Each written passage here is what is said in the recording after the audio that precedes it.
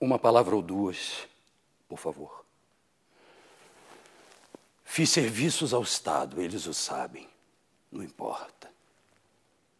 O que peço é que nas cartas em que contarem esses tristes fatos, falem de mim qual sou.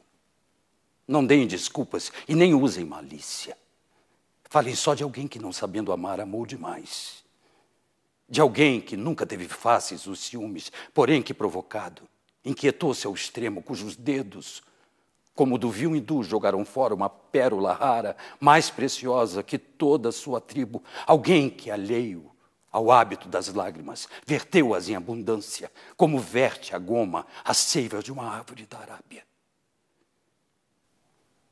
E digam que em Alepo, certo dia, quando o maligno turco de turbante agrediu um varão veneziano e insultou ruidamente a sua terra, peguei a goela ao cão circuncidado e golpeei assim.